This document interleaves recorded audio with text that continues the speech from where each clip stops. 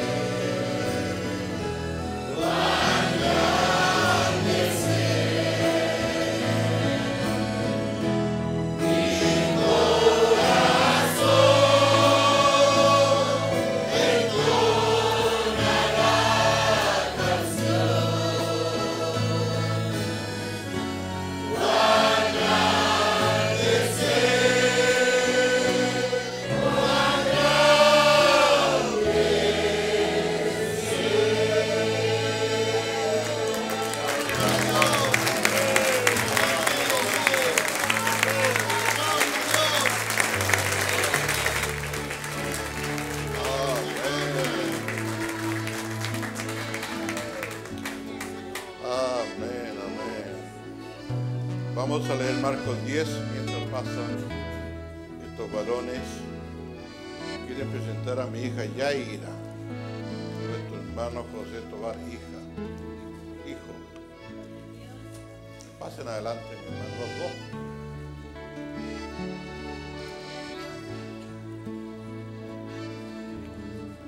Vamos a leer la escritura. Y le presentaban niños para que los tocase, y los discípulos reprendían a los que los presentaban. Y viéndolo Jesús se indignó y les dijo, dejad a los niños venir a mí y no se lo impidáis, porque de los tales es el reino de Dios. De cierto digo que el que no reciba el reino de Dios como un niño, no entrará en él. Y tomándonos los brazos, poniendo las manos sobre ellos, los bendecía. Amén. Amén, amén. Démela un momento.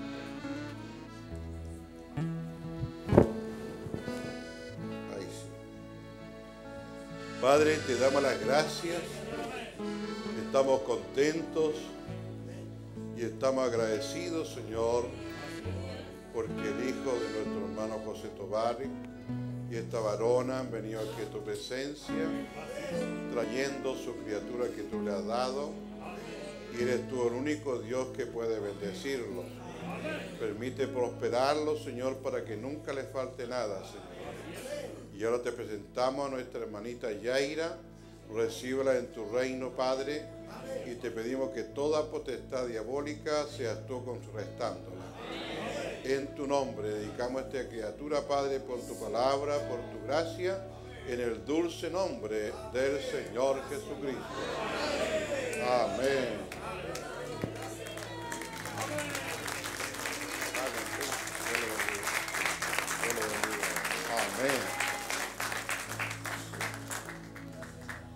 Vamos a abrir Hebreos capítulo 7.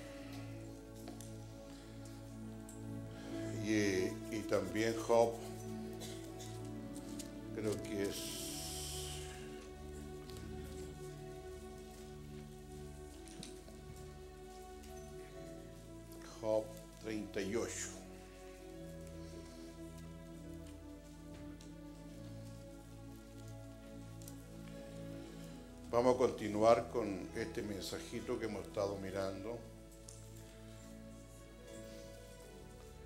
Como dije el viernes, nunca yo he tenido problemas acá en la iglesia con ustedes por dinero, mi hermano. Pero esto está en la palabra y tenemos que presentarlo tal cual está en la palabra. Le guste a usted o no le guste a mí, está en la escritura.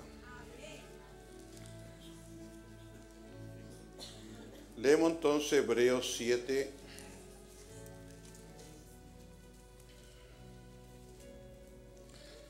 Hebreos 7 en el nombre del Señor Jesucristo.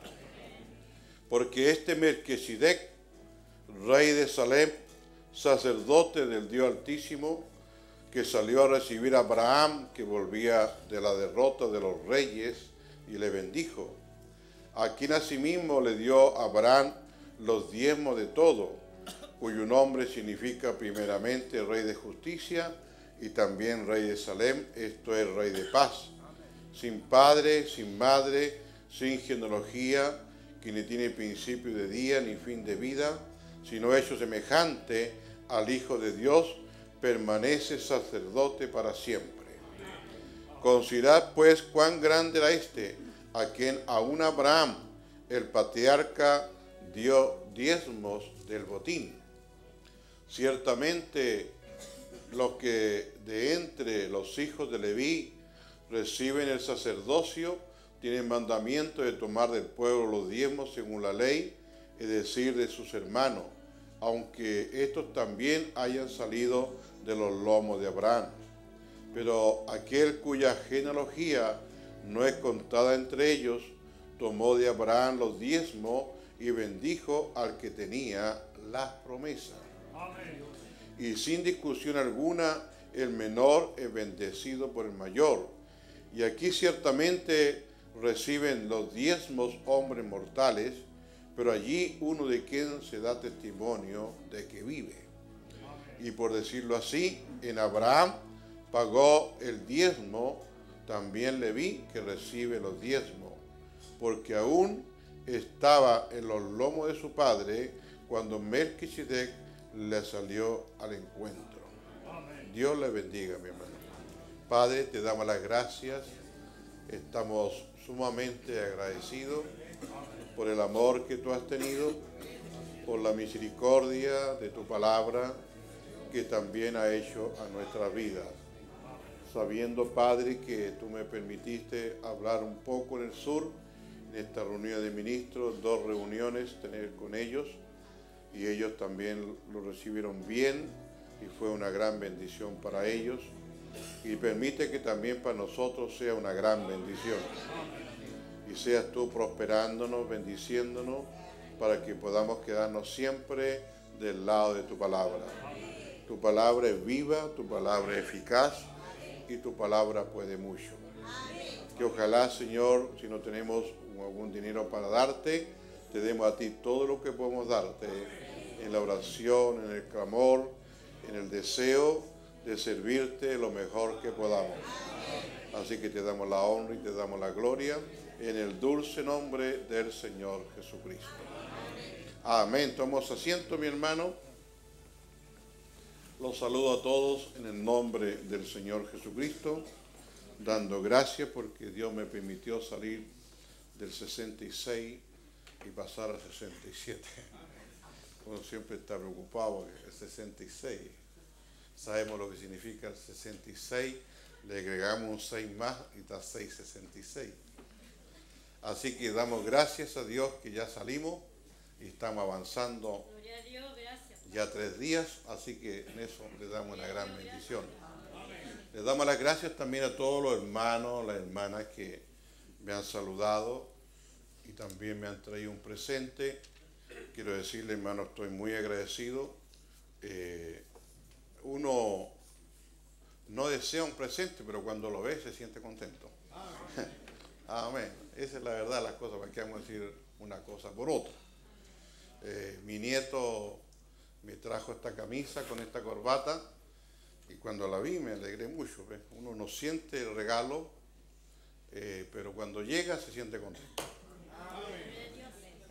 Se me quedaron un par de bototos en el sur, de estos palagua y ya los, tenía tres años y quería comprarme un par de zapatos acá mi hija me dijo, no, no lo compre papá si nosotros lo compramos. Bueno, me trajeron un parcito nuevo, ¿eh? Así que le damos gracias, mi hermano.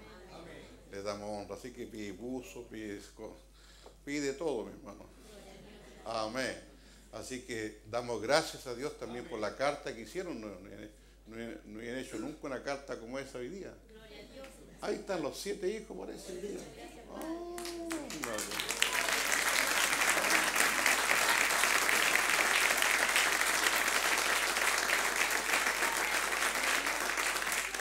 yo, yo, quería antes de morir que estuvieran los siete equipos. Amén. Le damos la honra, le damos la gloria. Le damos la alabanza porque Él es, Él es real, mi hermano. Él es verdadero. Aquí está mi hija mayor, que en un tiempo el banco hizo una restricción de, de, carteleras y después ya tenía una foto en mi, mi escritorio y el jefe la vio. Y el jefe era, era luterano, pastor luterano. Y vio la foto y después llegó con una cartelera de más clientes, para que ganara más plata pero no he visto los bonos.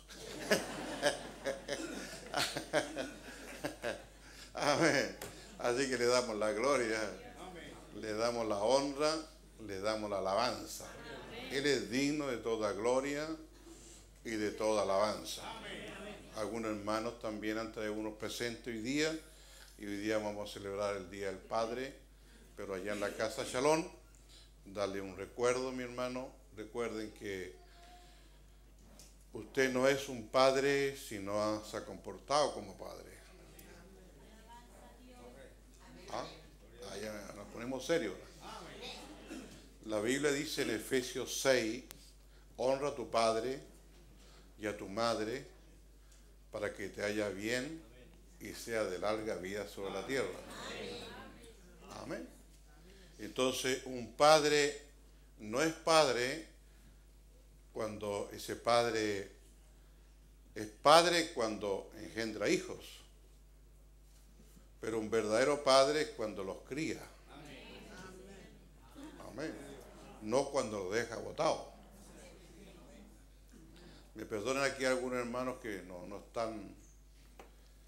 Hay hermanos que a veces se olvidan de velar, a veces en su vida mundana, en su vida eh, pecaminosa, han tenido más mujeres o, o, la mujer ha tenido más hombres y han dejado hijos botados. Y los que sufren más en la vida son los hijos. Sufren desconcierto, se sienten acomplejados, en la escuela también sienten problemas. Entonces un verdadero padre es aquel que, aunque en la vida haya tenido otros hijos, nunca lo abandone. Siempre esté presente. Y si la madre no quiere recibir nada del padre, yo a veces le digo a los hermanos, abra usted una cuenta bancaria, una cuenta de ahorro y vaya depositándole a ese niño ahí en el banco hasta cuando él tenga su edad y sepa que usted como padre siempre quiso responder por él. No lo deje a la deriva. Amén. Porque usted quiere que también ese hijo no sea igual que usted. Bueno, me dijeron mucho, amén. Amén.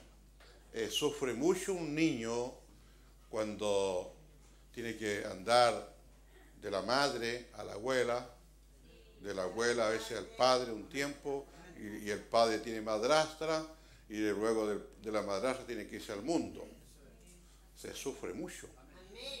Ese es mi, es mi currículum que tengo. De mi madre, cinco años, hasta los 11 con la abuela, de los 14 con mi padre y, mi madrastra, y de los 14 me fui a arrendar. Eh, no es una vida muy, muy, eh, como dijéramos, muy buena. Es una vida dura. Pero yo no quisiera, eh, cuando mi esposa estuvo agonizando en el hospital en el año 74, Dios me reveló, me llevó a, a orar y Dios me mostró que se la llevaba con su niño, se ahorcaba. Entonces le pedí al Señor, Señor, déjamela a ella con vida, pero llévate al niño. Al otro día cuando fui al hospital, conversamos, le dije, no me digan nada, esto te pasó. Y bueno, hasta el día de hoy me la tiene con vida. ¿ves? Porque el deseo...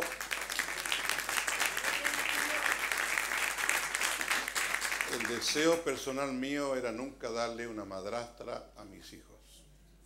Bueno, hasta el día de hoy ya lo cumplimos. Ahora ya puedo morir tranquilo. Amén. Así que le damos gracias. Así que los jóvenes que están aquí en esta mañana, padres jóvenes, no quieran ser igual que su padre. Si su padre fue un carnal, si su padre no aguantó a su mujer, si su padre fue un, carnívoro, como digo yo. ¿Ah? Un carnívoro porque anda siempre mirando la carnicería ajena. ¿Ah? Ese es un dicho de campo. Amén. No sea usted igual. Cuando Dios nos trae aquí a la palabra, nos trae para cambiarnos. Dios no nos trae la palabra porque sigamos mezclándonos. No, la palabra viene para limpiarnos. Amén, ¿lo cree? ¿Cuántos lo creen con todo su corazón? Así que a los padres que están aquí, mayormente, como yo digo estas palabras, muchos de nosotros venimos de Egipto, Dios nos llamó del mundo a la palabra. Pero aún algunos de nosotros, estando allá en el mundo, pudimos cumplir la palabra. O sea, Dios nos cuidó, mi hermano. Amén. Pero algunos que están aquí en la palabra, no se sigan más ensuciando. Amén. Tienen que ver que la palabra tiene que cambiarlo. Tienen que ver que la palabra sea una vida. No una palabra predicada, no una palabra hablada a otro, sino que esa palabra sea una Biblia abierta. Amén. ¿Cuántos lo creen con todo su corazón? No es tanto el predicar, el enseñar o adoctrinar, sino que tiene que haber una vida en ustedes. Si no hay una vida, mi hermano, seríamos solamente eh, trompetas inciertas, dando un sonido incierto. Amén. Y recuerde, como que Pablo cuando está hablando, si la sonida da un sonido incierto, ¿quién se percibirá? Y cuando estamos hablando del sonido incierto, significa el que está tocando la trompeta aquí en esta mañana no soy yo, es el Señor Jesucristo. Pero cuando estoy tocando la trompeta y en mí no hay una vida consagrada, el que está tocando la trompeta es el otro. Entonces está saliendo una palabra mezclada. Entonces, usted que está oyendo la palabra no se puede arreglar no se puede arrepentir, porque la trompeta está sucia. Y que la está tocando el otro. No es Dios. Amén. Entonces, cada creyente que viene esta mañana, cada creyente que cree con todo su corazón que esta Biblia es real, porque usted tiene que creer en su corazón que esta Biblia es real. Esta Biblia no es una Biblia que la puede usted quemarla, hacerlo, es una palabra eterna. Y si la palabra es eterna, significa que usted y yo también somos eternos. Porque venimos de eternidad. Amén. Y recuerde la Biblia dice que Dios nos sacó, o perdón, Dios nos predestinó antes que este mundo fuese mundo. Entonces, si Dios nos predestinó antes que este mundo fuese mundo, somos eternos. Y tenemos que encontrarnos con la palabra eterna. Amén. Somos el germen eterno ahora y encontrando con el germen de la palabra y entonces se hace la... ¿Qué es lo que se hace? Cuando se encuentra un germen con otro germen, hay un nuevo nacimiento. Amén. Amén. Entonces se encontró con la palabra y entonces en esa vida inmediatamente mi hermano sabe que tiene que nacer de nuevo. Nacer en la palabra. En otras palabras, como dice Pedro, renacer. Renacer significa tener dos nacimientos. Un nacimiento en la carne y un nacimiento espiritual. Venimos de padre, venimos de madre en genealogía, mi hermano, muy, eh, muy, muy inconversa, mi hermano, muy terrible. Pero cuando Dios nos llama a su reino, Él tiene que sacar esa genealogía de papá, de, mamá, tiene que sacar esa, esa, esa mezcolanza de abuelo, de su tatarabuelo aquí se tiene que terminar. Amén. ¿Cuántos lo creen? ¿Cuántos dicen amén, mi hermano? ¿Cuántos están creyendo esta mañana que han sido predestinados?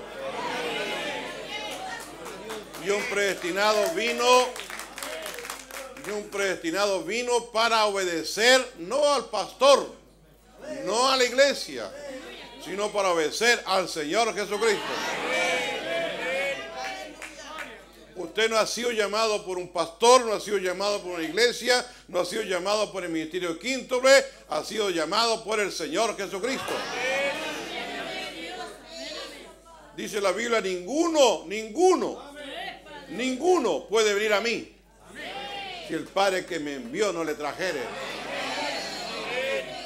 Y si dice ninguno, no hay ningún hombre que puede traer a nadie aquí, mi hermano. Amén. Es Dios que los trae. Amén. Y se necesita que el que está predicando sea Dios que lo haya traído también. Amén. Entonces a Él le damos la honra, le damos la gloria, le damos la alabanza. Yo creo que mi Dios, tu Dios, podemos decir esta mañana, Él ha sido un buen Padre.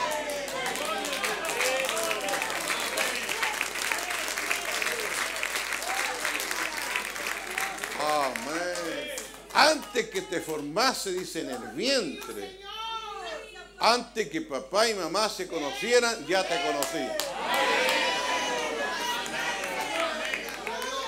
Oh, hermano. Cuando yo vi esa escritura, mi hermano, y, estudié todas esas escrituras que están ahí en, en Isaías, mi hermano, eso sacó todo peso todo peso de, mi nacimiento, todo peso de mi padre, todo peso de mi madre. Cuando Él dice, yo soy Jehová tu sonador, que te formé en el vientre. Oh,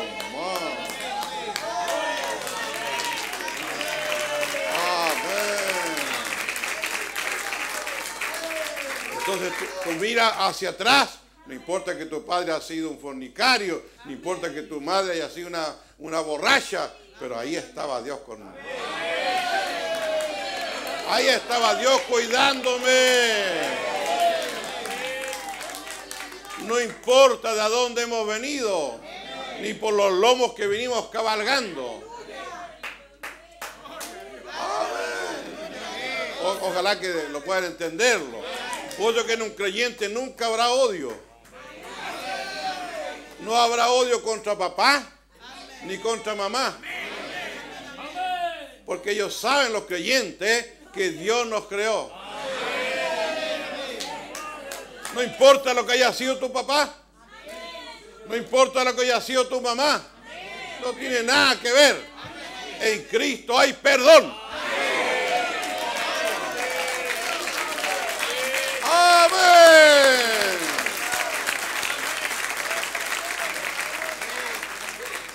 Yo diría ser una persona que viviera con odio, con amargura contra mi madre. A la edad de 15 años, cuando la encontré y fui corriendo a saludar, ¡Mamá! Dime que soy tu primo. Uy, un golpe a la cátedra. Quedé helado. No podía entender. Con 15 años no podía entender después de tantos años trabajando, juntando plata, hasta que la encontré, mi hermano, no podía entender cómo ella me podía estar diciendo que no era su madre, que era su prima. Usted entienda, tenía 15 años. Ah. Oh, Dios nos ayude. Pero cuando uno, cuando uno llega a la palabra, entiende que Dios lo hizo pasar por eso. Amén. Para que cuando tome la palabra no haya ningún afecto de familia.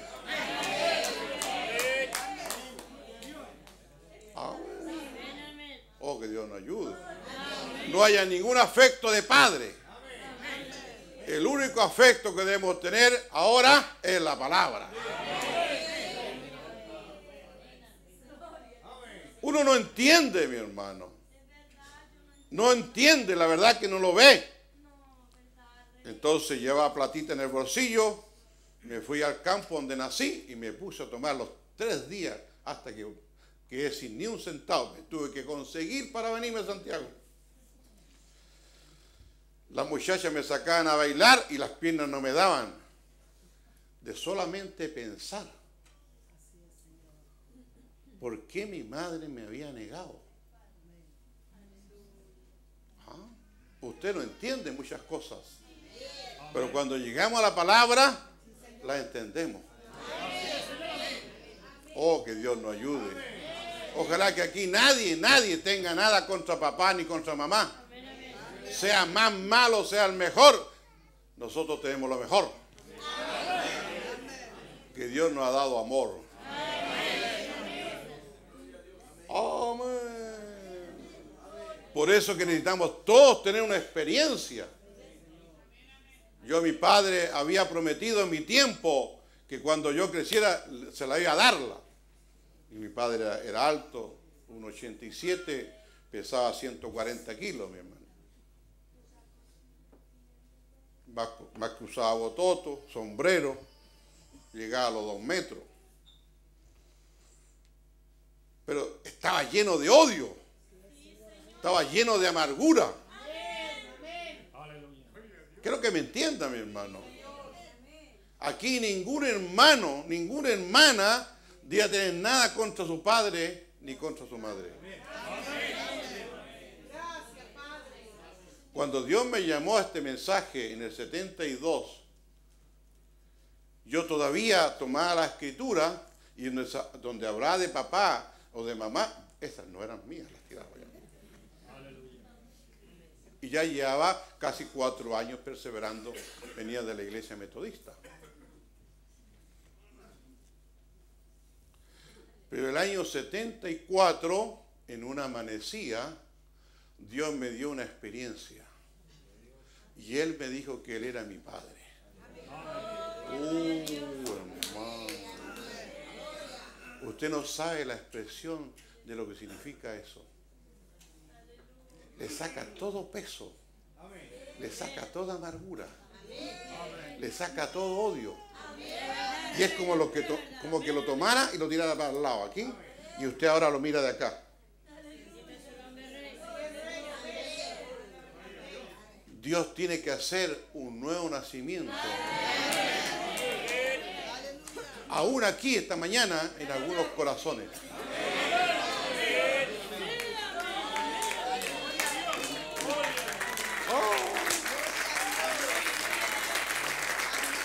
¿Cuánto lo creen?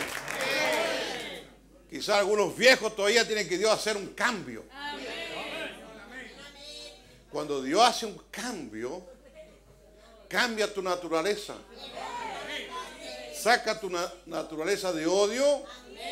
Dice que con esa experiencia, la, la, primera experiencia, el primer fruto que da Dios es amor.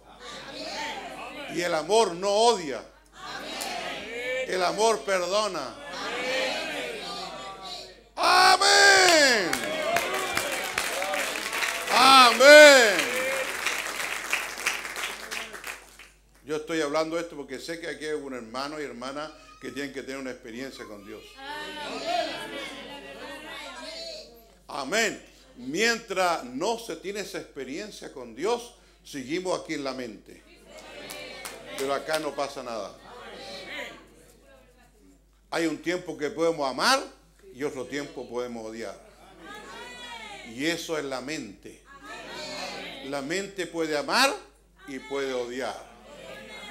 ¿Están fijados que esposa dice, te amo tanto? Pero si le ven que cae con una mujer, lo odian.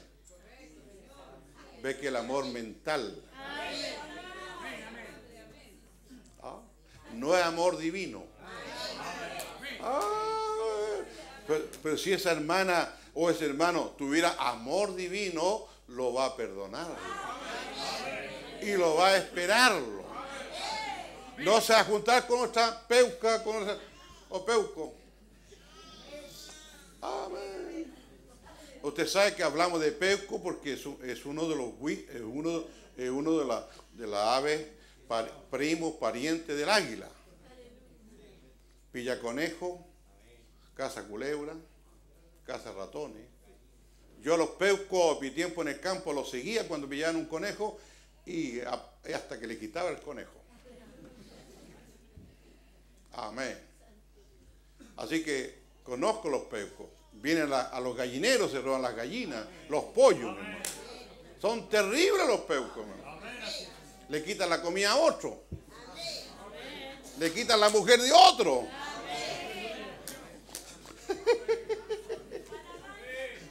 Son peucos, mi hermano. Son rapiñeros. Ah, no le importa quitar la comida a otro.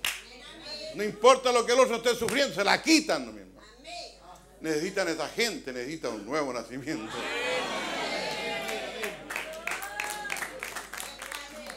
¿Qué necesita ese, ese creyente? Un nuevo nacimiento. Me extraña que tú, Nicodemo, siendo ya viejo, quizás, dice su siervo, más de 40 años, y tú no sabes lo que es nacer de nuevo. Pero ¿cómo voy a entrar de nuevo? ¿Ves? La mente humana. Amén. Él estaba razonando. Él estaba, era un gran erudito de la ley, de la palabra, pero no sabía lo que era nacer de nuevo. Puede que usted lleve 10 años perseverando en este mensaje, puede que lleve 20 años caminando en la iglesia y no sabe todavía lo que es nacer de nuevo. Pero ¿cómo puede ser posible eso que usted está hablando, hermano Flores? Es una verdad, mi hermano. Si usted va a Hebreos, eh, perdón, a Juan 3, si Dios nos cambia el mensaje, no importa, hermano. Amén. Aguantémonos entonces. Amén. Ya que el día del Padre, yo voy a hablar de mi Padre, que nunca falló. Amén. No, no, no, no de mi Padre natural, de mi Padre espiritual. Que lo que Él promete, Él lo cumple. Amén. Mire lo que dice aquí Juan 3. Y había un hombre de los fariseos que se llamaba Nicodemo, un principal entre los judíos. Este vino a Jesús de noche. En un mensaje su siervo dice, por lo menos Nicodemo vino de noche. Y otros ni, ni de noche vinieron. Y este vino a Jesús de noche y le dijo, rabí, sabemos que has venido de Dios como maestro, porque nadie puede hacer estas señales que tú haces si no está Dios con él. Respondió Jesús y le dijo, de cierto, de cierto te digo, que el que no naciere de nuevo, ¿ve? Que el que no naciere de nuevo, oiga aquí, aquí los pone pesar la pista, no puede ver el reino de Dios. ¿Por qué encontramos creyentes odiando? Encontramos a ese creyente odiando a su hermano. Encontramos creyentes que no pueden pasar a su hermano. Es porque esos creyentes no están viendo el reino de Dios. Amén. Los ponemos pesados. Amén. ¿Cuánto aman la palabra? ¿No se han que hay creyentes que le agarran odio al perro? ¿O al perro al vecino? ¿Y le tiran piedra, le tiran patada?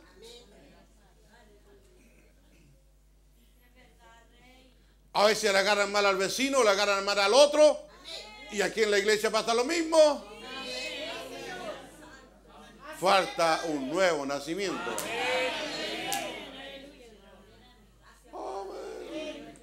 Y Nicodemo, Dios le dijo, de cierto, de cierto te digo, que el que no naciere de nuevo, amén, no puede ver, no puede ver el reino de Dios. Amén. ¿Y cómo este creyente va a ver el reino de Dios a menos que nazca de nuevo? O sea, de mi primer nacimiento no puedo ver el reino de Dios. Pero por eso Dios tiene que darme un segundo nacimiento. Y usted tiene que saber cuando Dios le da ese segundo nacimiento. Amén. Gloria a Dios. Nicodemo le dijo, ¿cómo puede un hombre nacer siendo viejo? ¿Puede acá acaso entrar por segunda vez ve en el vientre de su madre y nacer?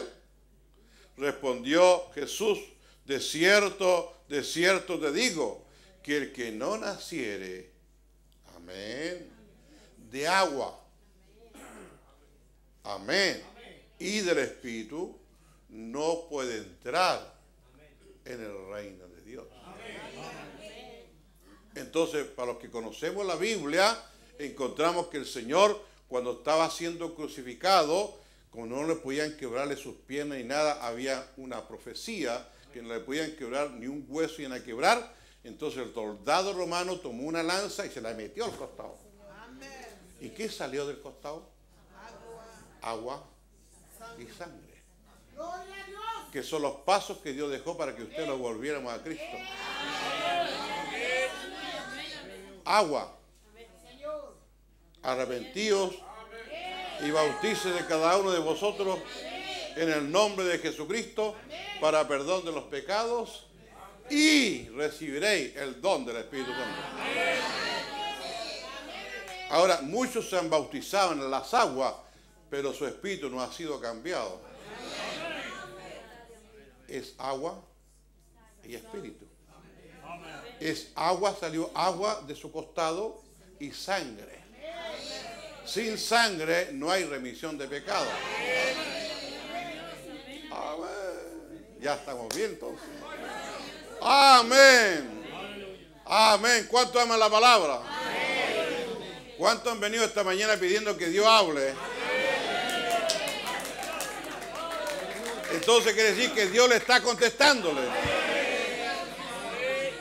Amén. Porque yo, yo tengo acá el mensaje, mi hermano. Lo tengo acá todo anotado. Pero vamos a esperar que Dios hable. Amén. Y nos vamos a sujetar a lo que Dios nos hable. Amén. Entonces, de su costado salió agua y sangre, porque él venía a, preparar y a buscar un pueblo para abrirle una brecha, una brecha que por cuatro mil años nadie, nadie había podido vencerla ni ganarla. Pero él la ganó, mi hermano. Y ahora la manera de volver, de volver sus hijos predestinados que él había predestinado de antes de la fundación del mundo, él abrió la brecha, abrió camino para que volvieran a través del agua, a través de la sangre.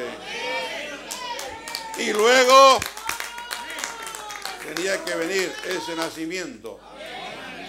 Amén. Porque en su sangre hay confesión de pecado.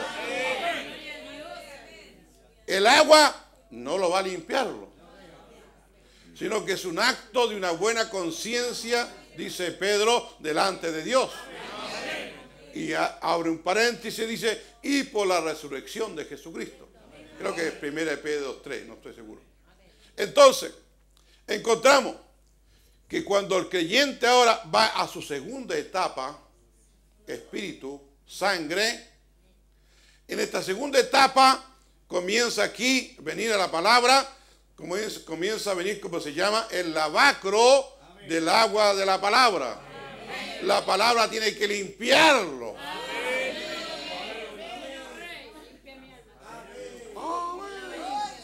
Si este creyente odia a papá, odia a mamá, tiene que darse cuenta que este creyente necesita ir donde papá, necesita donde ir a mamá y confesarle que lo odia.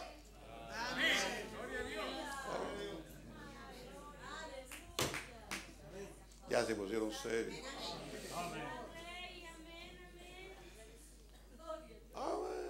Porque el único que puede perdonarlo es papá y mamá. Tiene que ir donde papá y mamá y decirle, papá, yo te he odiado por esto, por esto, y decirle. Pero hoy día recibo la palabra y me siento más libre, pero hay algo que no puedo dejarlo. Tiene que ir donde papá y mamá. Este creyente está yendo a la sangre y la sangre está limpiándolo. Ah, no, no, dicen algunos creyentes, algunas personas. Ah, no, no, si yo le confieso al curita está todo bien. Están mal. Otros dicen, ah, le vamos a confesarle todo al pastor y todo está bien. No, mi hermano, el pastor no te va a limpiar de nada. Ni el curita te va a limpiar de nada. ¿A quién a pedir perdón? A la persona que está hablando mal.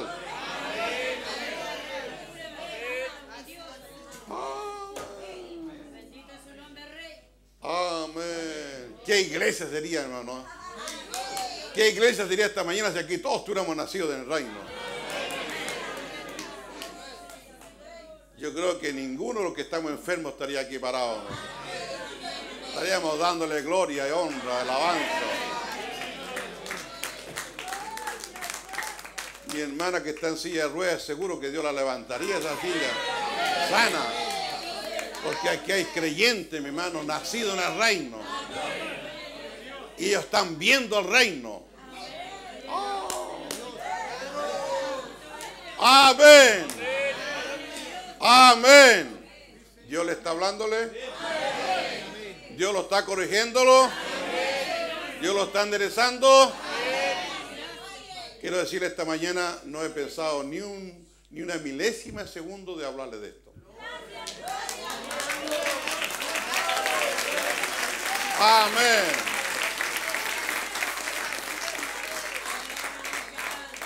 El mocito, el mocito no es el alimento que él lleva. El mocito va, eh, señor don Guillermo, ¿qué se va a servir? Ah, quiero una ostra y un poncho de la romana. Entonces ya me hizo el él. Yo voy donde el maestro. Maestro, una ostra, ponche romana. Y espero. Esa es la labor del músico. Luego, al maestro me está, ¡pum! Ahí está.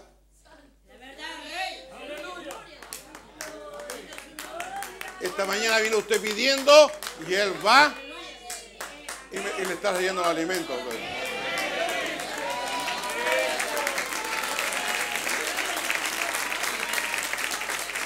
La gloria no es del pastor, la gloria es que está detrás del pastor. Porque usted vino pidiendo, vino pidiendo. ¿Cuántos vinieron esta mañana pidiendo a voz de Dios? Amén. Y este es un día glorioso, día del Padre. Amén. Debemos estar súper, súper contentos, mi hermano. Amén. Porque eh, verdaderos adoradores somos de nuestro Padre Celestial. En las buenas y en las malas siempre lo estamos adorando. Amén. Por eso que el creyente ahora salió de aquí de su costado eh, izquierdo, donde el terror la lanza, salió agua y sangre. Y lo otro importante que tenemos que mirar aquí, mi hermano. Él estaba crucificado. Estaba de sus piernas, de sus brazos, y ya había sido crucificado de su mente. Todo tiene un significado. Cuando a él le colocaron la corona de espina, significa que cada pensamiento tuyo quedó crucificado. Significa que cuando él tenía las piernas ahí crucificado y sus manos arriba, en las piernas significa que tú a nadie tiene que andar con patas con ellos. Y significa las manos arriba que liberación tenemos.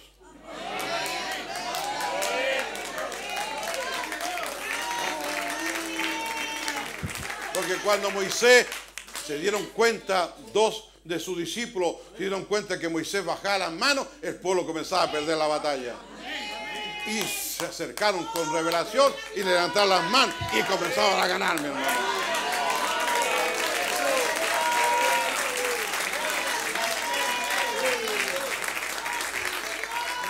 Significa que estando él con sus manos crucificados, ningún diablo te va a derrotar.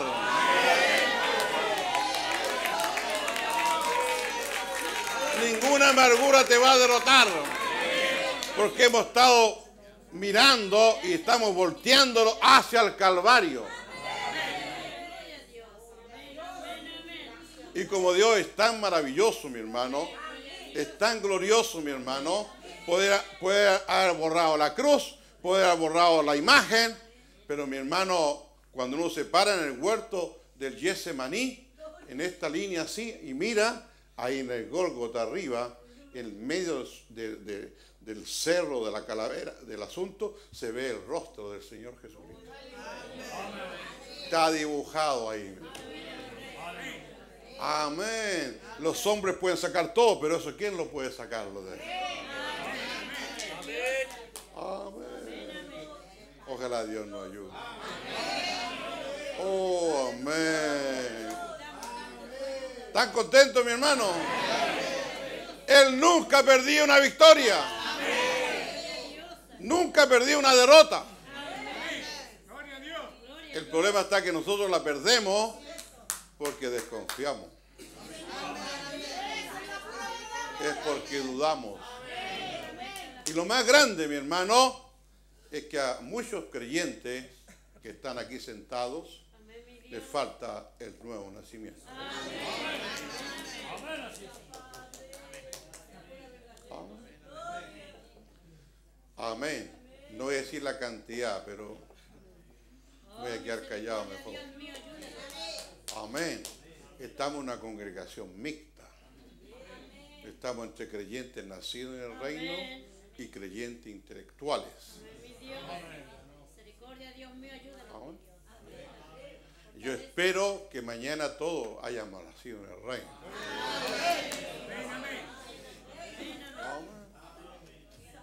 Porque nacer en el reino trae paz. Amén. Dice que, dice la Biblia, venid a mí. Claro, sí. Todos los que estáis cansados y trabajados, que yo os daré descanso. Y nuestro verdadero descanso es la palabra. Es Jesucristo. Porque Él saca el odio, saca la amargura. Amén. Saca que mañana no voy a tener trabajo. Saca que mañana no voy a poder comer. Dios nos va a dar.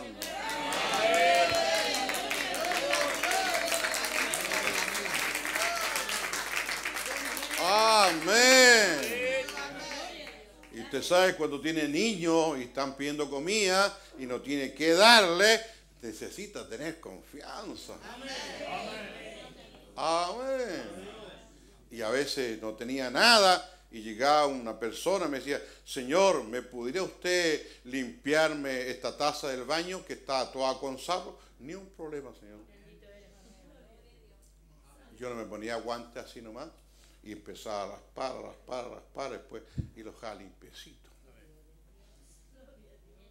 Cuando usted tiene hijos y no quiere que pasen hambre, usted va a trabajar no en lo que sabe, sino en lo que Dios le da.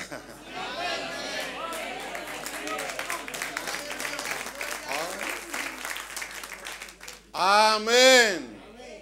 Entonces el creyente ya vota sus pluritos. Amén. Porque un hermano aquí sea ingeniero, sea arquitecto, no tenga trabajo y le diga, me limpia ese baño. No, pues yo soy arquitecto. Bueno, o sea, tenés que comer el diploma de arquitecto. Pero el trabajo está ahí. Po. ¿Qué va a hacer? El verdadero creyente, el único que se puede humillar.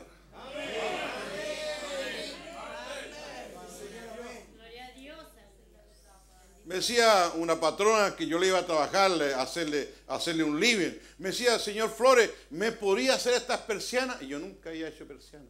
La miraba la otra, ¿cómo había hecho? Sí, se las puedo hacer. Y me quedaba buena. Oh, maestro, que sabe estas cosas. No, no es saberlo, estar dispuesto. Yo digo, en esta vida no hay nada que no se pueda hacer. Y yo le digo a los clientes, les decía, aún la muerte tiene solución. Pero ¿cómo, maestro? La muerte tiene solución.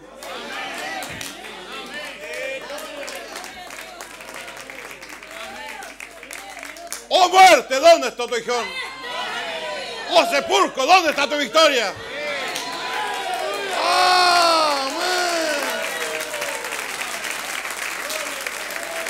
Pablo sabía, Pablo supo que le iban a cortar su cabeza.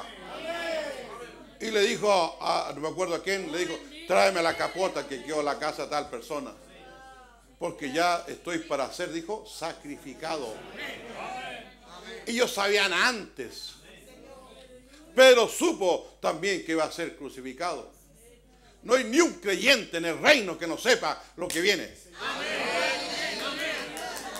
El que está en el, reino intelectual no sabe lo que viene. Y vive nervioso, vive tenso. Vive con problemas. Amén. Pero el creyente que nació en el reino sabe que nos vamos de esta tierra. Y sabe que antes que nos vamos, vamos a tener apertura. Pero también Dios nos va a dar la fuerza para pasar esa apertura.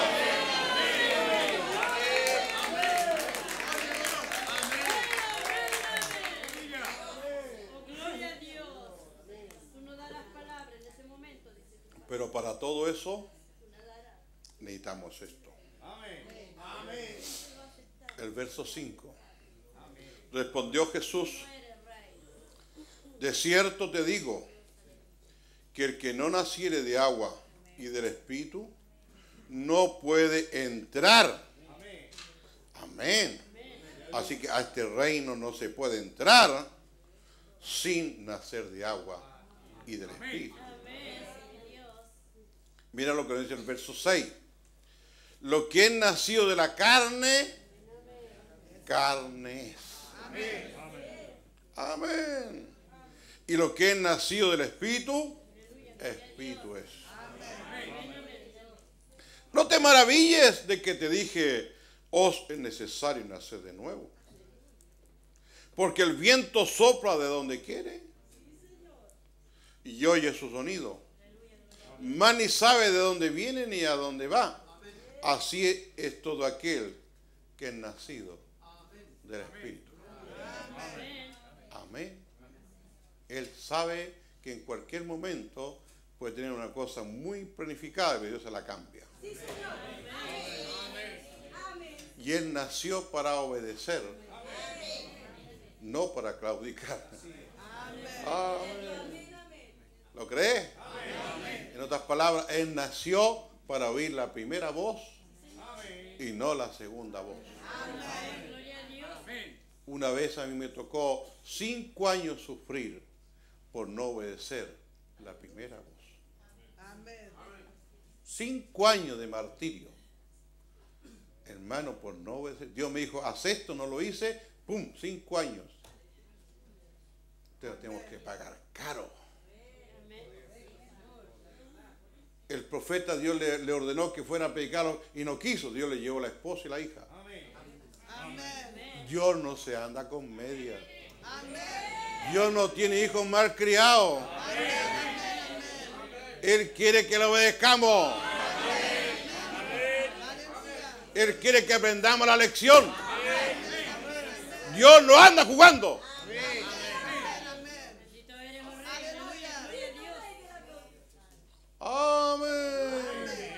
Oh, dígame amén esta mañana. Amén. El verso 10, 9. Respondió Nicodemo y le dijo, ¿cómo puede hacerse esto? Respondió Jesús y le dijo, ¿eres tu maestro de Israel? Y no sabes esto. ¿Eres tu pastor? ¿Eres tu predicador? Y no sabes que hay que confesar. No sabes que hay que restaurar. No sabes que hay que pedir perdón. No sabes que tú debes diezmar.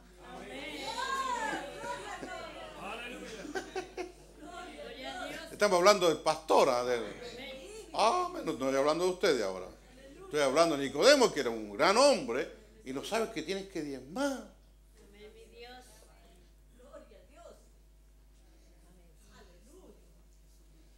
¿Ve? Respondió Jesús y le dijo, ¿eres tú maestro de Israel? Y no sabes esto. De cierto, de cierto le digo que lo que sabemos hablamos y lo que hemos visto testificamos y no recibís nuestro testimonio. Y si os he dicho cosas terrenales y no creéis, ¿cómo creeréis si os dijere las celestiales? Amén. Amén. Nadie subió al cielo, sino que el que descendió del cielo, el Hijo del Hombre, que está en el cielo. Y como Moisés levantó la serpiente en el desierto, así es necesario que el Hijo del Hombre sea levantado. ¿Por qué levantó Moisés la serpiente en el desierto?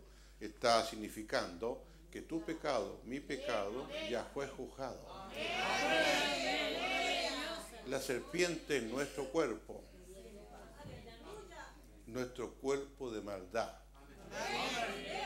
nuestro cuerpo que en el mundo el diablo lo ocupó para la lascivia, lo, lo ocupó para la lujuria, lo ocupó para engañar a otro o engañar a otra.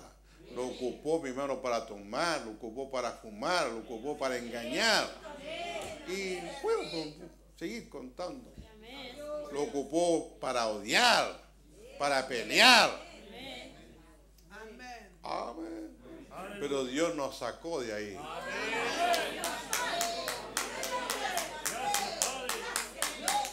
Mira, tu pecado ya fue juzgado.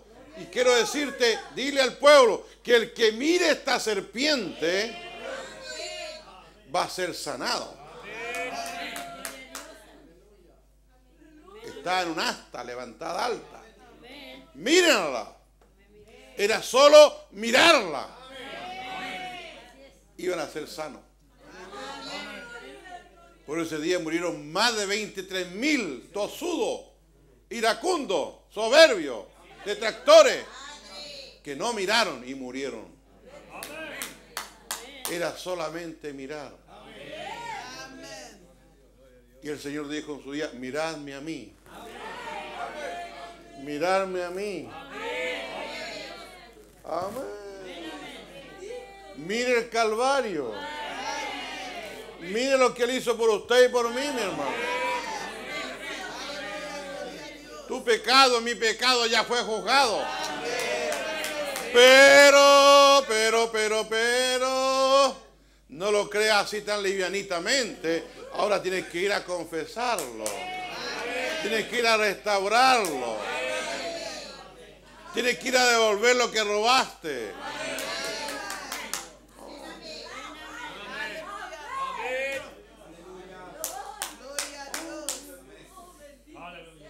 ¿Ves? Estaba predicando en, en, Linares en una noche y prediqué que muchos guasitos son buenos para robar, mi hermano. Y algunos se roban hasta el arado del patrón. Y había uno que esa noche estaba siendo identificado. ¿Y cómo Dios te va a llevar algo si tú en tu casa tienes algo que te condena? Algo que no es tuyo. Y ese varón esa noche tomó el arado y fue a dejarlo a la casa del patrón donde lo había robado.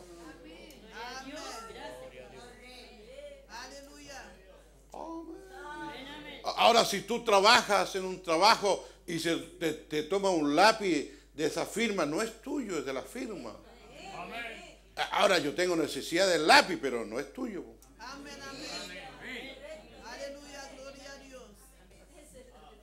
Restáuralo.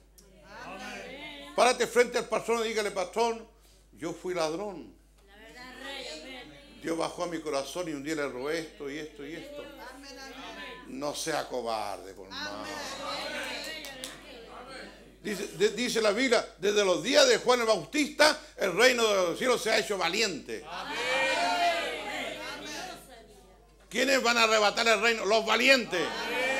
¿Y quién es valiente? Aquel que se para frente a su enemigo, le dice lo que hizo.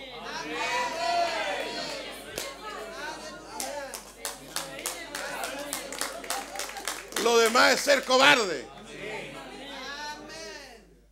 Es ser comunista.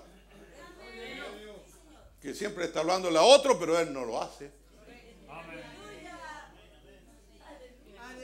Por eso que muchos creyentes no avanzan ni crecen en la palabra porque toman la palabra a su manera.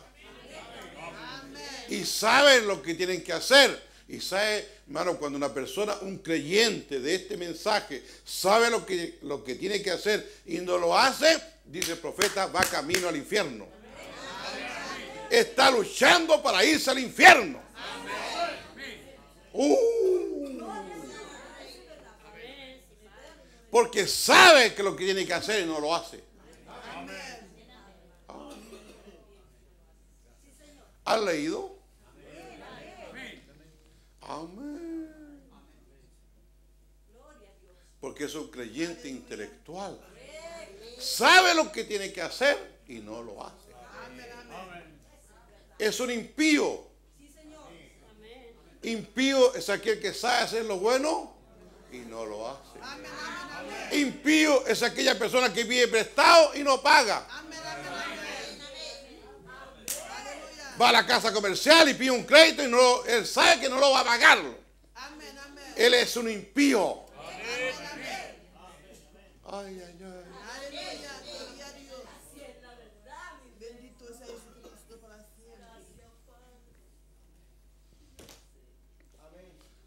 Ojalá que no haya ningún impío esta mañana. Oh, perdón, no haya ninguno. Ojalá que Dios lo saque de ahí. Es buen mensaje esta mañana. ¿Cuántos quieren ser limpios?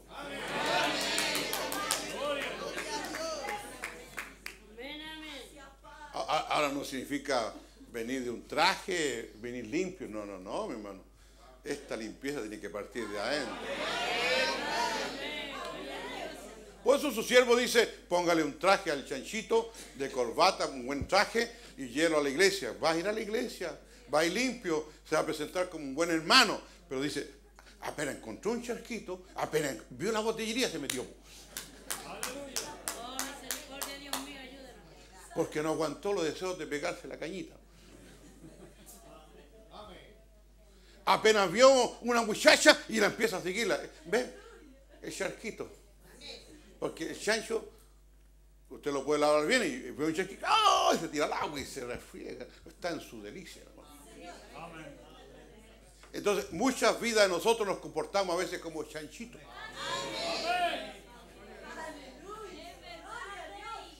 Somos verdaderos chanchos. Por la vida que estamos llevando. Por eso que su siervo dijo el viernes, ¿cómo le voy a hablar a estos buitres? Porque el buitre come carne podrida. Él nació para comer carne podrida. Por eso que en el arca Mientras que estuvo en el arca el buitre y estuvo la paloma, estaban muy bien los dos. Pues muy bien. Pero ya se acercó el año. Noé mandó la paloma, volvió. Pero mandó el buitre y no volvió. Amén. Amén. ¿No se ha fijado ese detalle usted?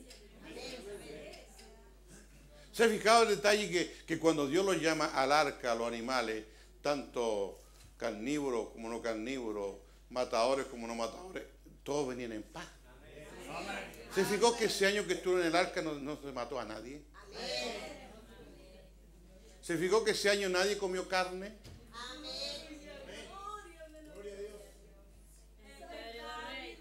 Lea la Biblia, por más. ¿Se fijó usted que Dios trajo, a, trajo eh, los animales? ¿No fue Noé quien los trajo?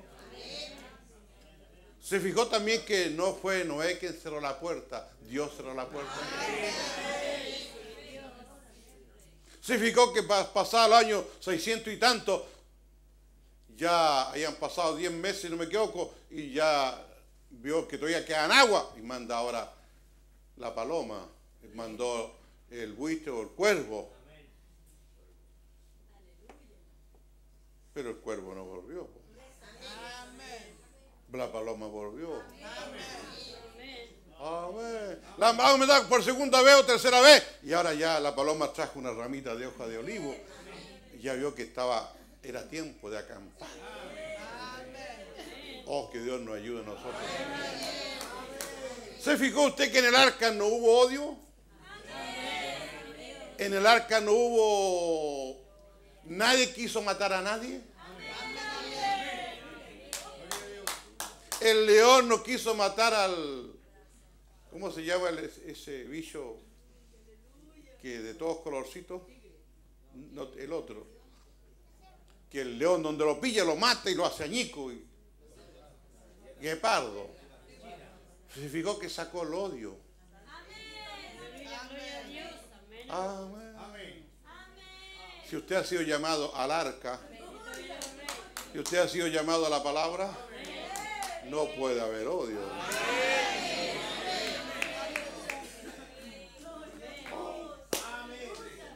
Amén.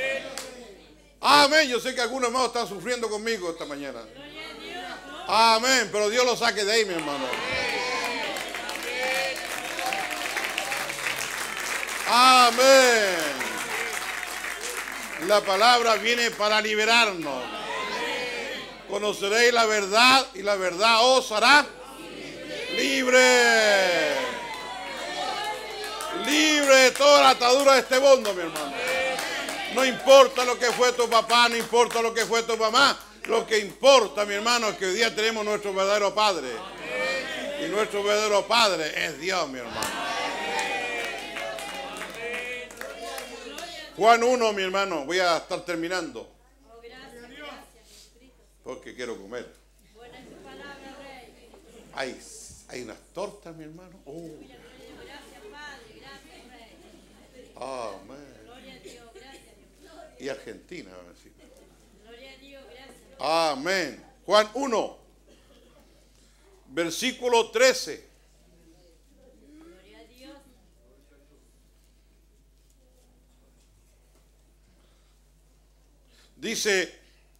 los cuales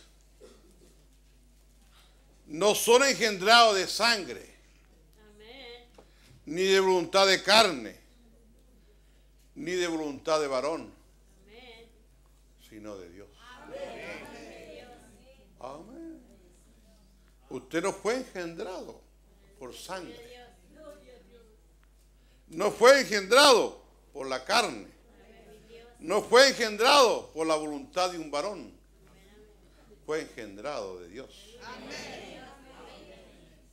Vamos a primera Juan 3 creo que es mi hermano. No estoy seguro. Vamos a dejar esto de lado. Y vamos a situarnos en la Biblia. Creo que es primera de Juan 3. Pedro, Pedro,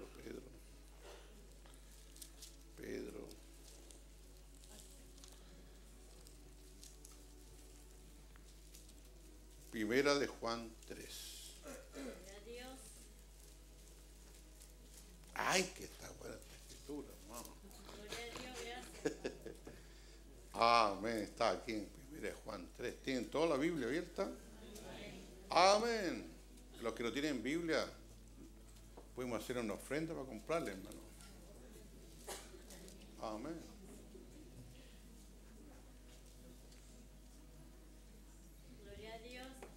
Gloria a Dios. Voy a leer del 1. Mirad, cuál amor nos ha dado el Padre para que seamos hijos de Dios.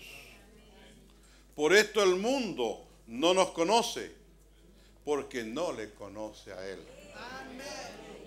Porque hay que entrar al reino. Y para conocer el reino tenemos que nacer Amados, ahora somos hijos de Dios y aún nos ha manifestado lo que hemos de ser. Pero sabemos que cuando Él se manifieste, seremos semejantes a Él, porque le veremos tal como Él es. Amén. Deje la escritura ahí y váyase a Juan 17, 5. Me acordé de esa escritura.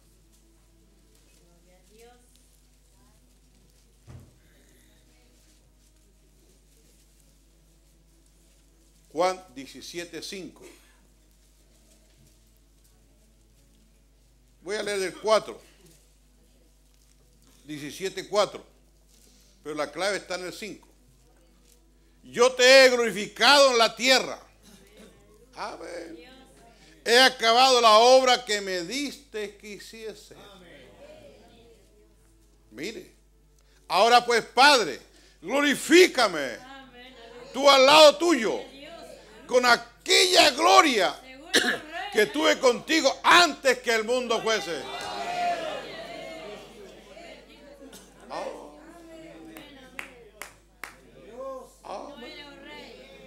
Váyase a Job 38. creo que era 38, sí. Del 4 al 7.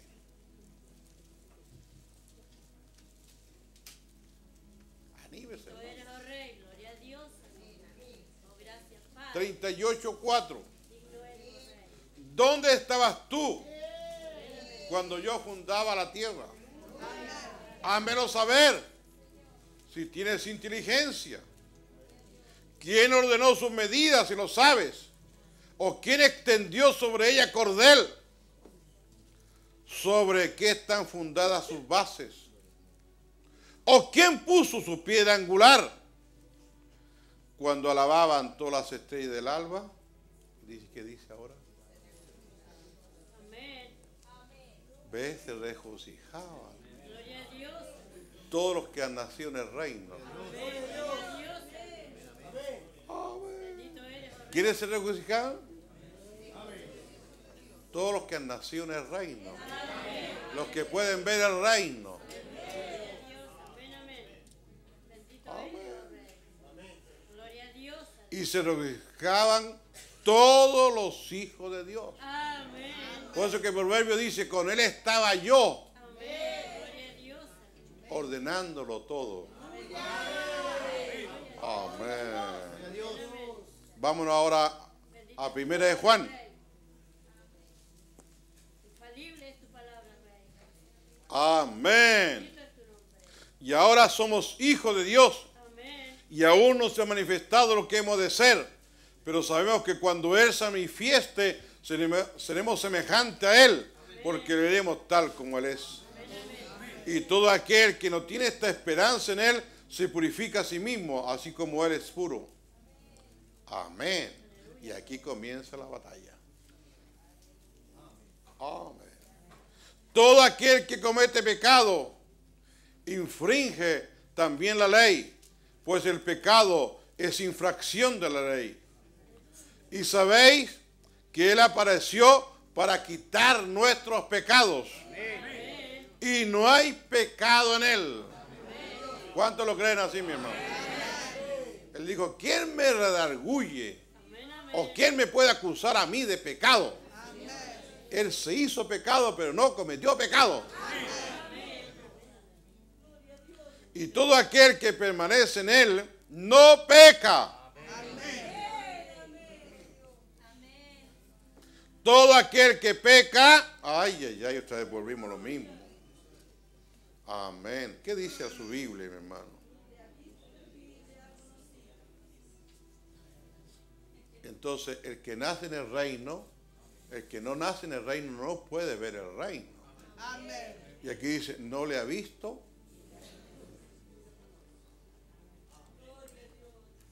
Lo conoce aquí, pero no acá. Y acá, si está el otro, tampoco. Todo aquel que permanece en él no peca. ¿Por qué tú hablas mal a ese de un hermano? ¿Por qué tú te expresas mal de tu patrón? ¿Por qué tú te expresas mal de un gobierno? ¿Por qué tú te expresas mal de tu alcalde o te expresas mal de tu comuna? Cuando nosotros nacimos para orar por nuestras autoridades. Porque sobre esas autoridades tenemos nosotros una autoridad mayor.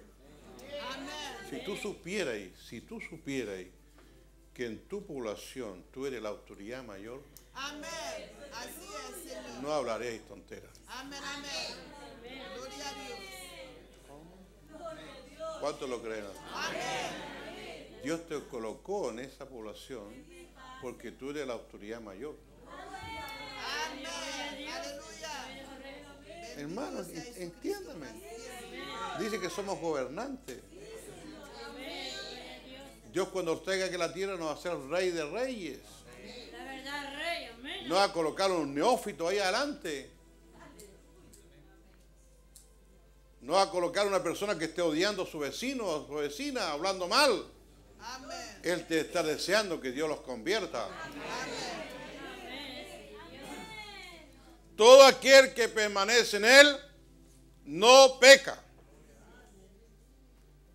Y todo aquel que peca no le ha visto ni le ha conocido. Hijitos, nadie os engañe. El que hace justicia es justo, como Él es justo. Amén. Ay, ay, ay, aquí no, no, no abre la brecha. Dice, el que practica el pecado es del diablo.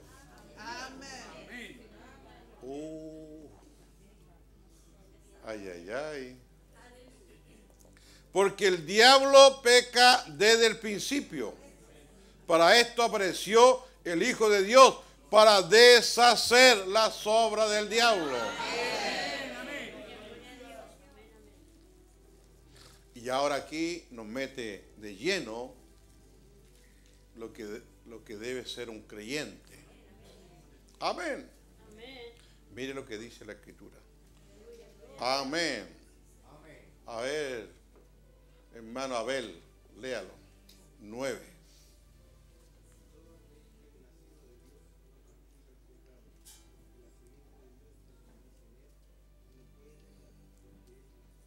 Amén. A ver, hermano José Tobar. El mismo nueve. Con fuerza más, hermano.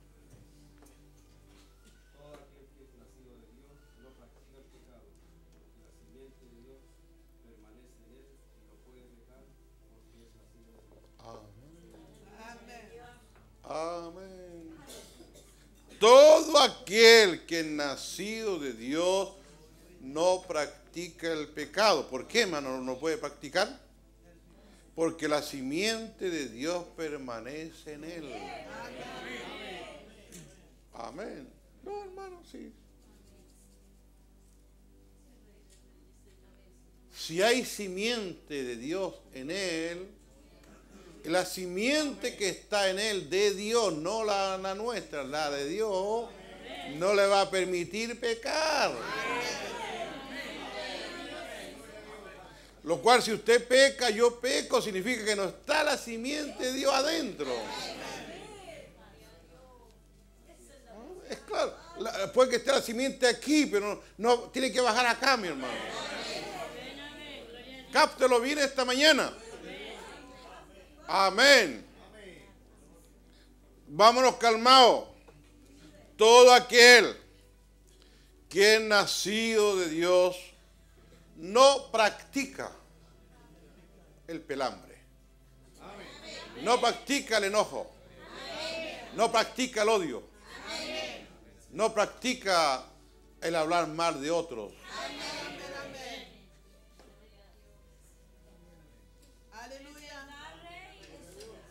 No practica la amargura.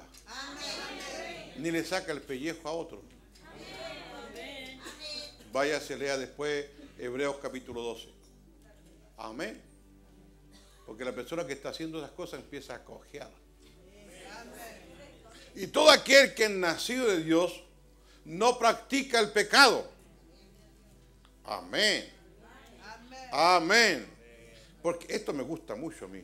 Porque la simiente de Dios permanece en él. Significa que si tú has nacido en el reino, Dios no va a permitir que tú peques.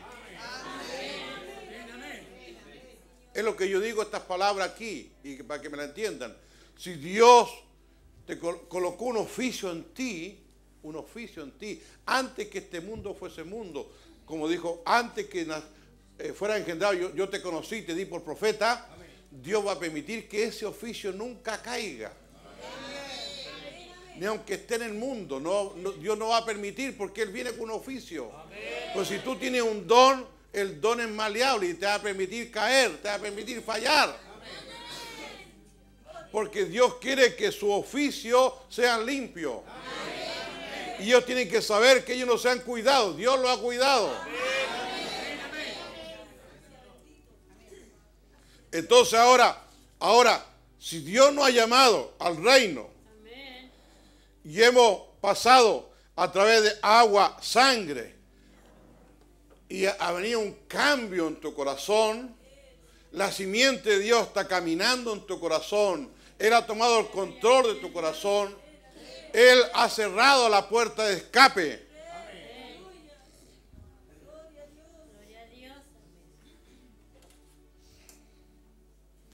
Ha cerrado la puerta de escape de tu libre albedrío.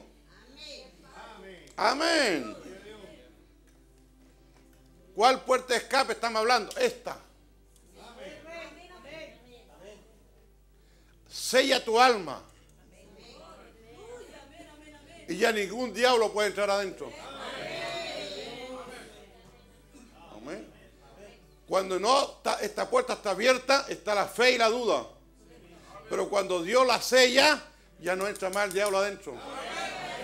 Dice, dice el hermano Branja en el mensaje de la brecha, el diablo que ha sellado afuera. A.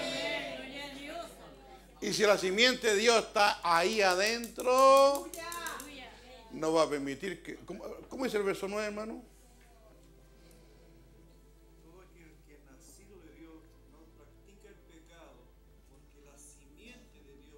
Es Dios permanece en él. No permanece ahí, no, no, permanece en él, el creyente. Significa que Dios sella. Dios sella la duda. Dios sella esta puerta. Y ya tú no eres un atributo del diablo. Aquí somos atributos de Dios, mi hermano.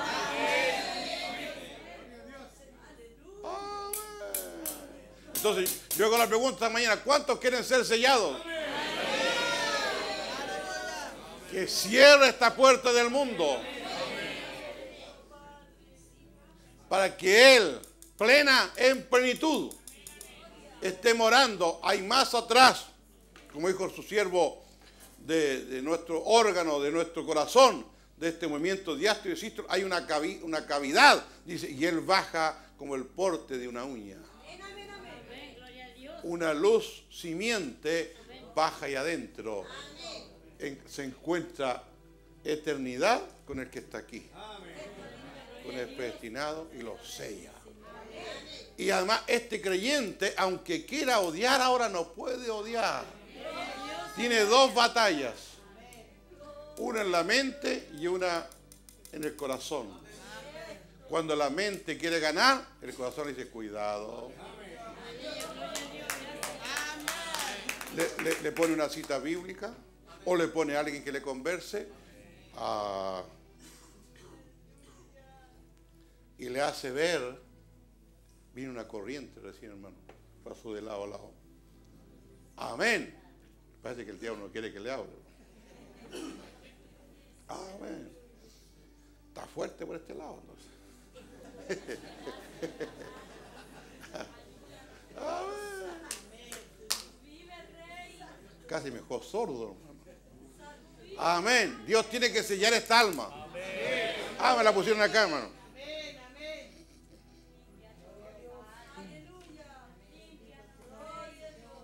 Amén. ¿Ve?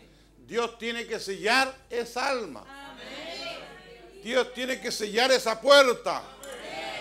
Mientras que esa puerta esté cerrada, hay libre albedrío. Está la fe y está la duda. Un tiempo creímos y otro tiempo dudamos. Venimos a la iglesia, nos portamos como caballeros y luego nos embarramos allá en el mundo. Nos sentimos mal, volvimos a la iglesia, nos arrepentimos, estamos un tiempo y volvimos al mundo. Pero cuando Dios llama a un creyente, lo llama una vez y para siempre.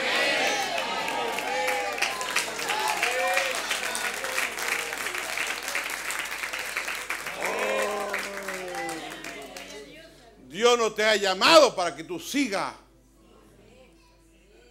la corriente del mundo. Oh, quizá ahora mi hermano me entenderá mejor lo que hablamos estos días. Amén.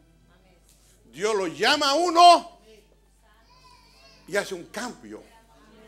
Y cuando Dios hace ese cambio, nuestro Padre, la palabra simiente, se encuentra con la palabra eterna.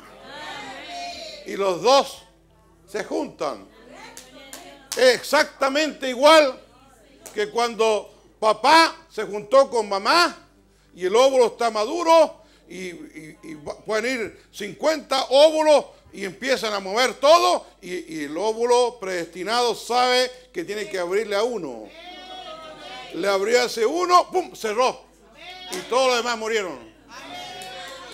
Significa que cuando nos encontramos con Dios, está el nacimiento y Dios cierra todo. ¡Lo sella! Ningún diablo más puede entrar, mi hermano.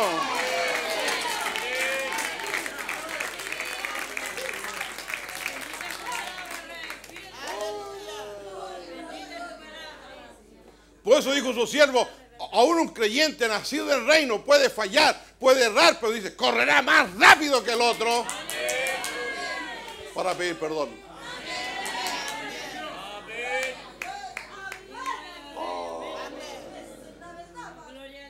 Entonces, yo hago la pregunta esta mañana, ¿cuántos quieren ser eh, sellados?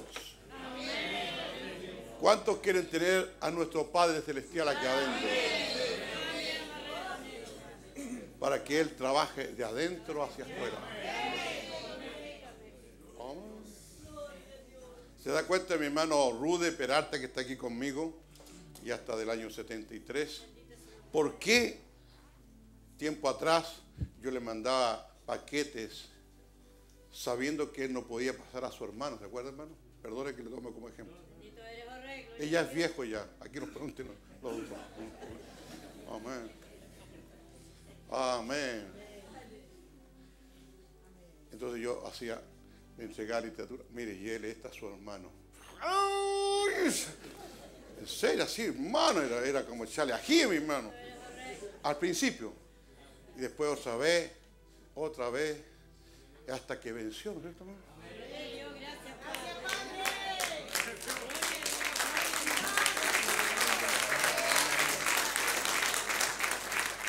Porque Dios tiene que sacar eso. de raíz. Ah. A un hermano ministro le decía, ¿por qué cree usted que a usted le mando la, literatura para que le dé a ese, ese? Es para que usted traiga el compañerismo los hermanos ministros al lado suyo y no tenga nada con ellos. Amén. Entonces había otro hermano aquí de la iglesia, le mandaba literatura a un pastor. Un día me dijo, ¿sabe, hermano Flores? Él no me recibe, se arranca. Yo dije, pero ¿cómo se arrancar? El pastor no quería verlo. Porque hay pastores que cuando le agarran mal a un hermano ni lo saludan. Amén. Y yo le digo, ¿qué clase de pastores son? Si en el pastor no tiene que haber odio, Amén. No tiene que haber amargura. Amén. Y todo lo que entra a la iglesia, sea bueno, sea malo, entra por la cabeza. Oh, hermano. Y me dijo, no me mande más literatura. Después el pastor me dijo, no me manden más literatura con el hermano porque no lo puedo pasarlo. ¿Ves? Oh, hermano. ¿En serio, hermano? Y usted puede decir, un pastor de este mensaje. Sí, amén. Pues, tiene su batalla el hombre. En otras palabras, le falta nacer en el reino.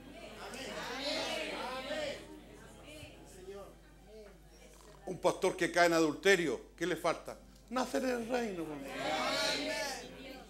Y la misma, lo mismo por el hermano que cae ahí en adulterio en la iglesia con una hermana o con un hermano, él le falta el Espíritu Santo. pues. Si no hay, no hay regla, no, si todo es igual. Todo lo que necesitamos es que Dios selle esta puertecita. Por eso dice que e- este, este creyente, mi hermano, ya va a estar terminando, hermano. Quería terminar a las 12, hermano. Ya son las 12. Me está picando la mano. Van a llegar regalos. A ver.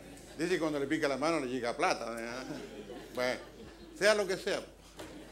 Amén. Amén. Vamos a estar terminando. todo aquel, que se le quede grabado, hermano. Amén.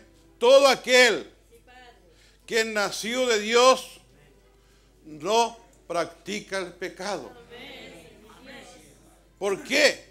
Porque la simiente de Dios permanece en él. Oh, y me gusta esta expresión ahora. Y no puede pecar. ¿Por qué no puede pecar? Porque la simiente de Dios está ahí adentro.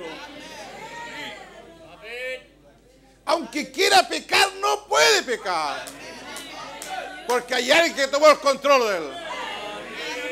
Ya no eres más atributo del diablo, eres un atributo de Dios, mi hermano. Ahora, ahora, tu dueño, mi dueño, somos propiedad del Dios viviente. ¿Por qué el hermano Branca se oraba? Satán, quita tus manos, saca tus manos inmundas a esta persona. Y porque ella es propiedad del Dios viviente.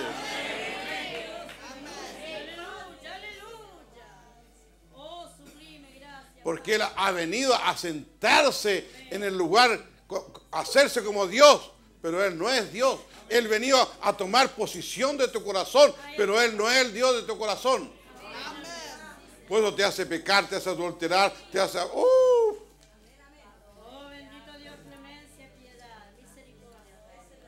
Pero cuando Dios viene y toma su aposento, lo sella,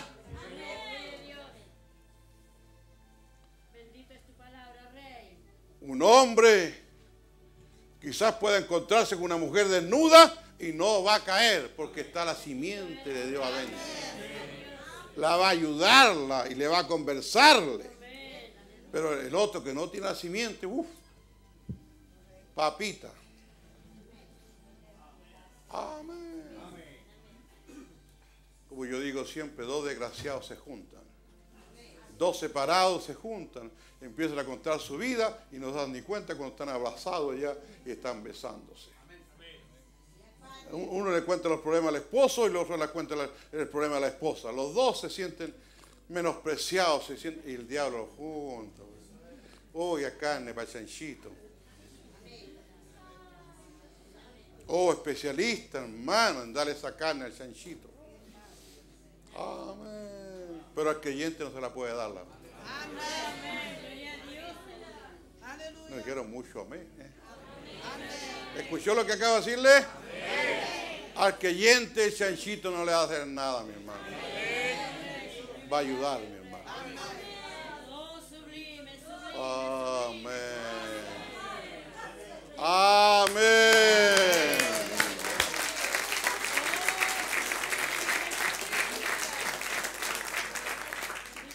Todo aquel que nació de Dios no practica el pecado, porque la simiente de Dios permanece en él.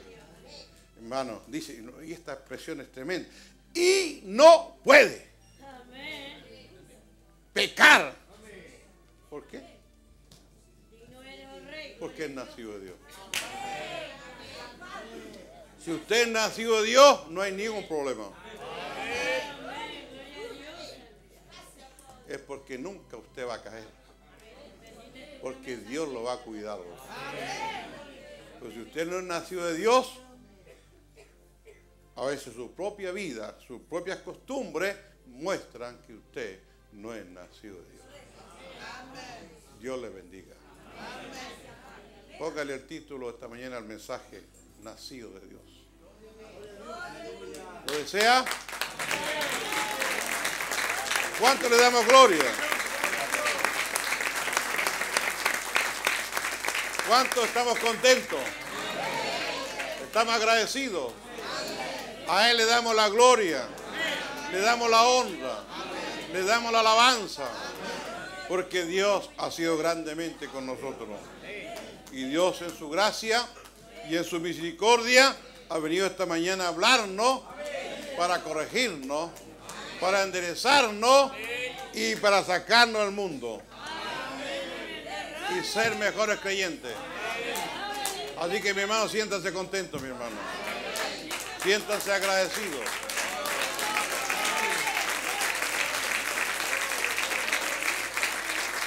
Amén. Vamos a orar, mi hermano. Padre, te damos las gracias.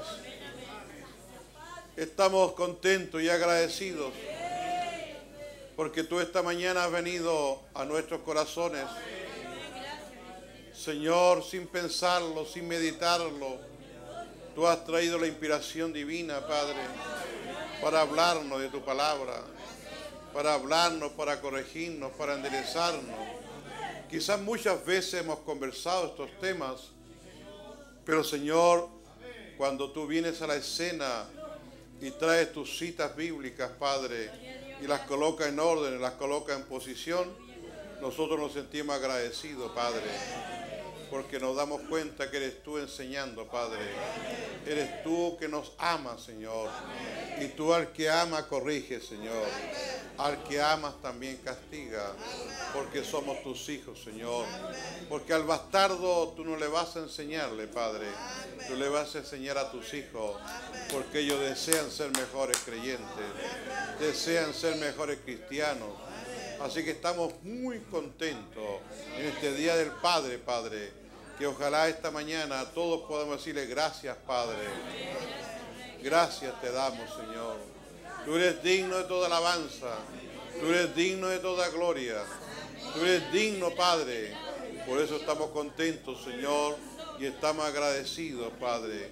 Porque no siendo merecedores de todo esto, tú nos tienes aquí, Padre, para darte las gracias, para decirte gracias, Señor. Dele gracias, mi hermano. Dele la honra, dele la alabanza. Si quiere levantar sus manos, levante sus manos. Amén. Glorifique su santo nombre. Adore su santo nombre. Dios busca tales adoradores que le adoremos en espíritu y en verdad. Aleluya. Aleluya. Amén. Alabado sea tu nombre. Bendecido sea tu nombre.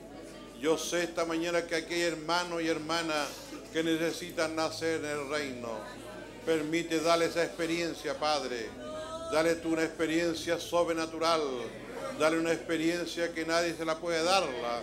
Solamente tú la puedes darla, Padre. Señor, ven a la escena, Padre.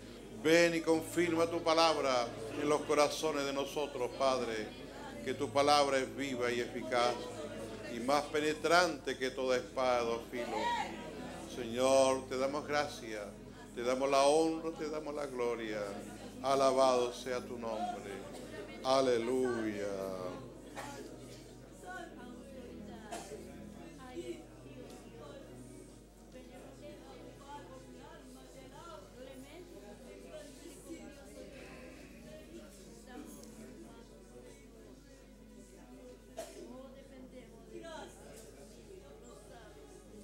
Amén, amén. Gloria a Dios para siempre.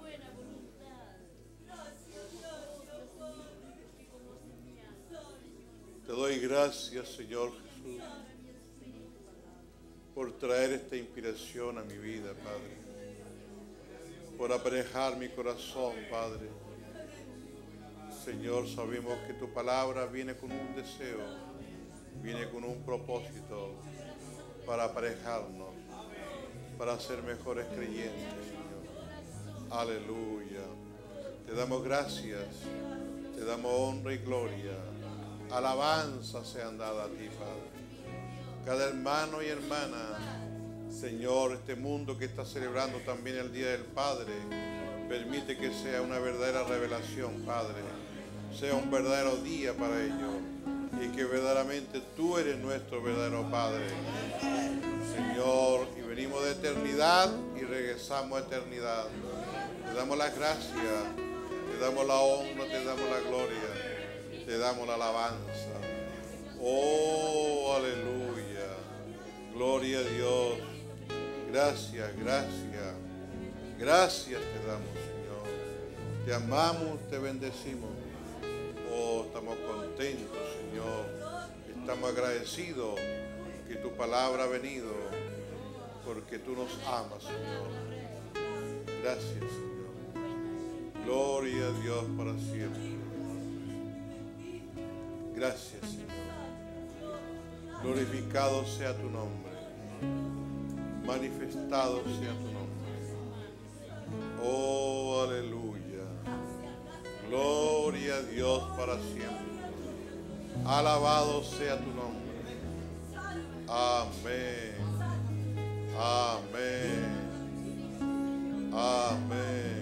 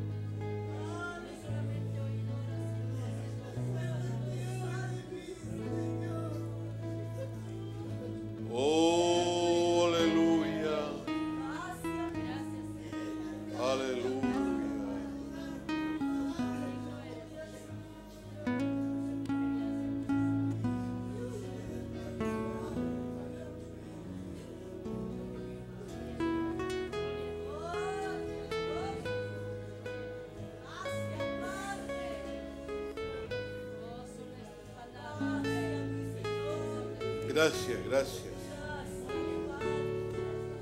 Aleluya.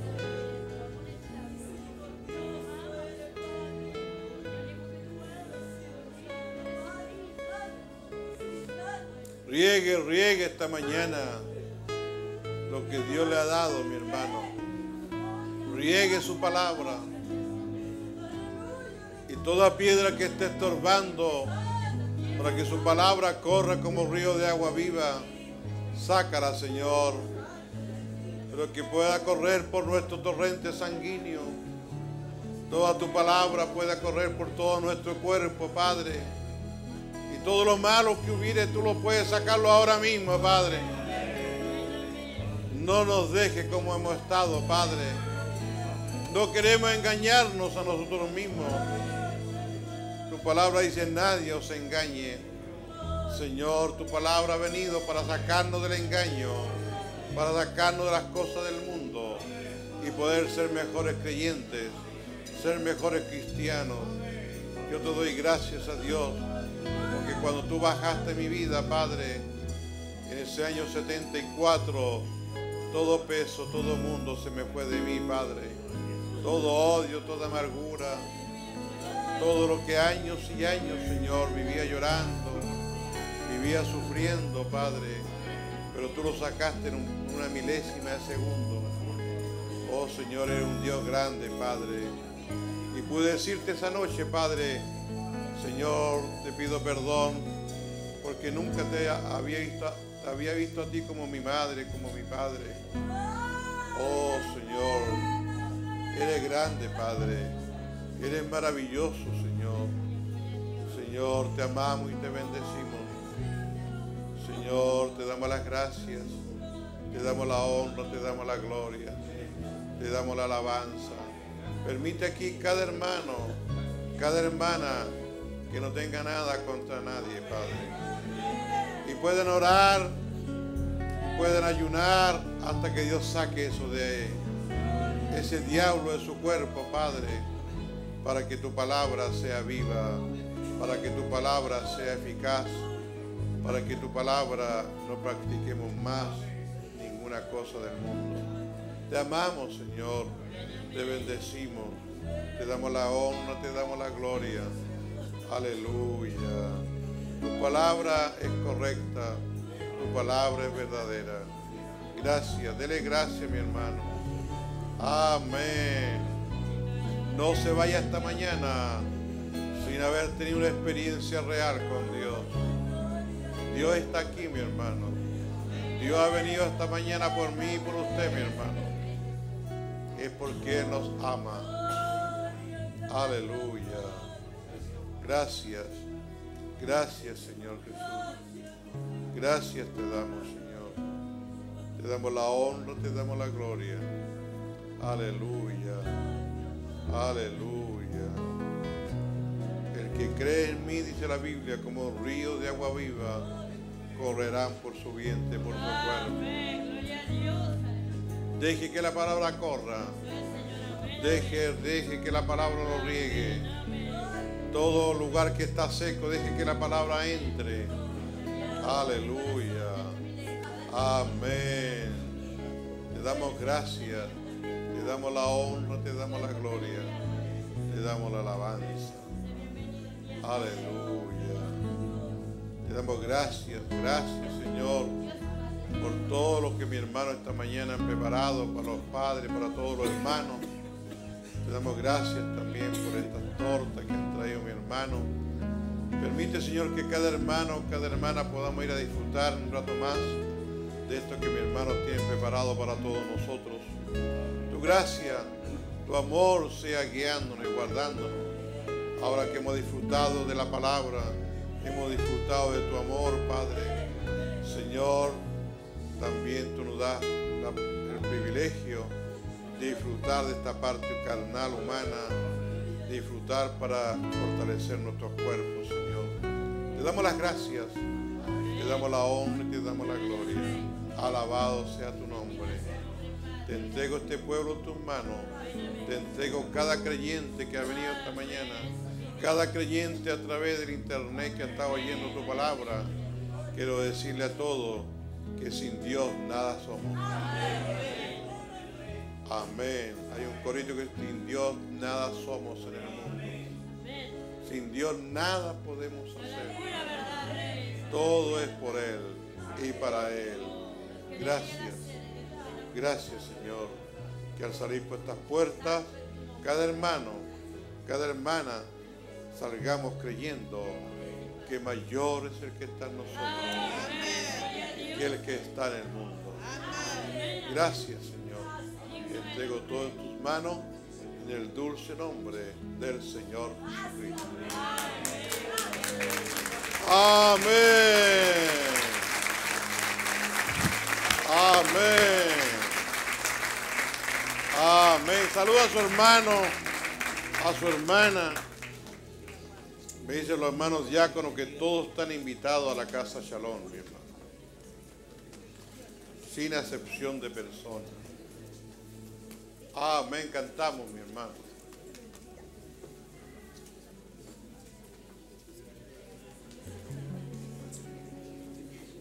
Sin Dios nada somos en el mundo.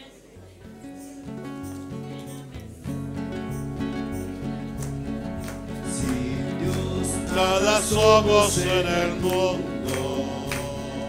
Sin Dios nada podemos